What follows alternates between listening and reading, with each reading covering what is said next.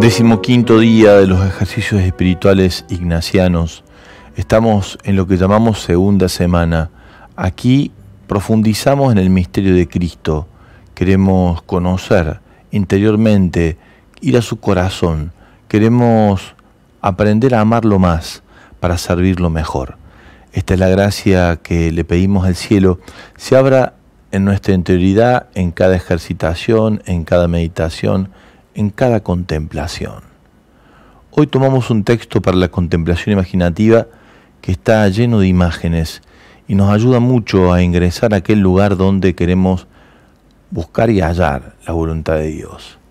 Es Bartimeo, un ciego, que en el camino de Jericó, en el Evangelio de Marcos, en el capítulo 10 del verso 46 al 52, grita, Jesús, hijo de David, ten piedad de mí.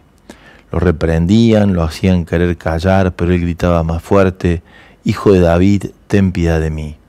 Y las entrañas de misericordia de nuestro Señor que se acercan, que tocan al ciego, que preguntan qué quiere que Él haga por él, quiero que vea, le dice, quiero ver, le dice Bartimeo.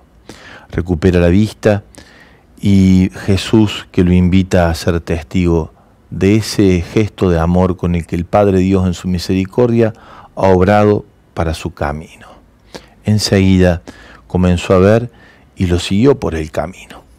Nosotros también queremos ver, queremos salir de aquellos lugares donde estamos a ciegas, donde no podemos acertar en hacia dónde orientar nuestra vida. Queremos buscar y hallar aquellas luces que nos hacen falta para poder ciertamente enfocarnos a donde está la mejor suerte que nos espera. Te invito a hacer tu ejercitación, que lo puedes hacer viendo lo que la escena ofrece, con todo ese colorío en esa ciudad cosmopolita de Jericó, con lo que el ruido de allí indica y el grito de Bartimeo que se hace sentir entre tanto tumulto, con los discípulos que quieren frenar a Bartimeo, con la gente que quiere hacerlo callar y Jesús que lejos de eso lo escucha y da respuesta a su pedido. Nos metemos en la escena y participamos de esta contemplación.